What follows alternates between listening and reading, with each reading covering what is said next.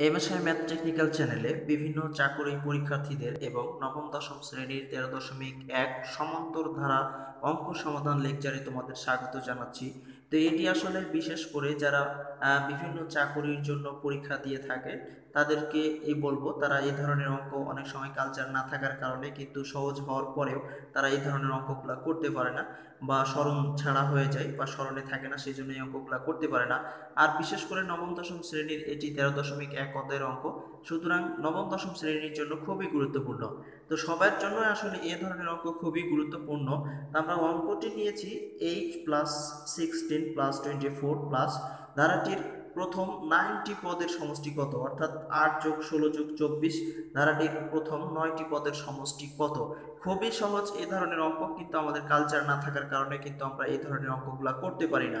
তো আজকে আমি তাদের উদ্দেশ্যেই বলব, যারা এমএসআই ম্যাথ টেকনিক্যাল চ্যানেলের এই ভিডিওটি আজকে যারা দেখতেছ, তো তাদের জন্য খুবই সুন্দর এটি একটি অঙ্ক। তো আশা করি তোমরা শুরু থেকে শেষ পর্যন্ত দেখলে এই ধরনের অঙ্কে আর কোনো সমস্যা তোমাদের থাকার কথা নয়। তো সেজন্যই তোমাদেরকে শুরু থেকে শেষ পর্যন্ত দেখতে হবে। তো এই ধরনের অঙ্ক যদি থাকে তাহলে আমরা কি করব? প্রথমে আমরা প্রথম পদ এবং সাধারণ অন্তর বের করে নেব। নেওয়ার পরে আমরা নয়টি পদের সমষ্টির যে আমাদের সূত্রটি আছে, এই সূত্রটি দিয়েই মূলত আমরা এই অঙ্কটি করতে পারব। তা আশা করি তোমরা অবশ্যই বুঝতে পারবে। দেখতে থাকো এমএসআই ম্যাথ টেকনিক্যাল চ্যানেলের এই লেকচারটি তো সেজন্য আমরা কি করেছি? এখানে প্রথম পদ এ সমান এইচ, আমাদের ধারাটির প্রথম পদ ছিল এ সমান এইচ। আমরা প্রথম পদকে এই দ্বারা প্রকাশ করে থাকি, তো এখানে প্রথম পদ হচ্ছে এইট আর দ্বিতীয় পদ হচ্ছে সিক্সটিন অর্থাৎ ষোলো। আমরা সাধারণত বের করেছি, সাধারণত বের করার নিয়ম হলো দ্বিতীয় পদ মাইনাস প্রথম পদ, এটি সাধারণত বের করার নিয়ম।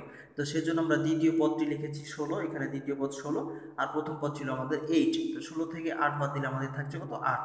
আর পদ সংখ্যা কতগুলো ছিল? পদ সংখ্যা বলেছিল আমাদের নয়টি পদ সংখ্যা বলেছিল তো সেজন্য আমরা কি করেছি? পদ সংখ্যা এন সমান নয়।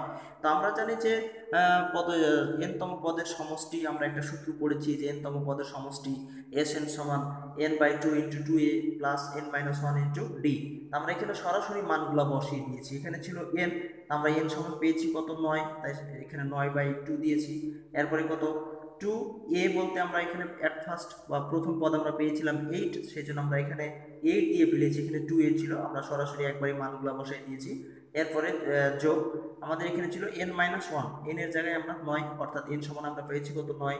এন মাইনাস ওয়ান তো ওয়ান তো আছে। আর ইন্টু ডি ডি সমান কত পেয়েছি? এইট তো সেজন্য আমরা এখানে সরাসরি মানগুলা বসাই দিয়েছি।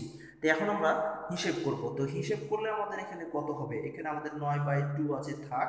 আমরা যদি এটা হিসেব করি, তাহলে কত হবে? আট দুগুণে ষোলো। আমরা এখানে লিখে ফেললাম ষোলো প্লাস এই এইট কিন্তু নয়ের সাথে গুণ আছে, তা আট নং কত? আট নং বাহাত্তর, তাহলে আমরা এখানে লিখে দিব বাহাত্তর। আর আট এককে প্লাস মাইনাসে মাইনাস আট এককে আট। এটা আমরা খুব সহজেই হিসেব করে নিলাম। তো এখন নয় বাই টু আছে, আমাদের নয় বাই টু থাক। তো আমরা যদি এই ষোলো থেকে আট বাদ দিই, কারণ এটা প্লাসের এটা হচ্ছে মাইনাসের অথবা এখান থেকে যদি আমরা এটা করি, তাও হবে। তা তাই এটা আমরা খুব সহজেই করে নিতে পারি। অর্থাৎ আট থেকে যদি আমরা বাদ দিই, তাহলে এখানে থাকছে আট, আর প্লাস কত থাকছে বাহাত্তর। এটা আমরা খুব সহজে করে নিলাম। এরপরে কি করব? এরপর আমরা এখানে নয় বাই টু আছে, থাক। আর আট আর বাহাত্তরে কত হয়? গুণিত আশি। তো সেই জন্য আমরা আশি লিখে দিলাম। এরপরে আমরা যেটা করব, সেটা হচ্ছে যে এটাকে যদি আমরা কাটাকাটি করি, তাহলে এটাকে কাটাকাটি আমরা করতে পারি। কীভাবে? এখানে দুই একে দুই, চল্লিশ দুগুণি আশি মনে করে নিলাম।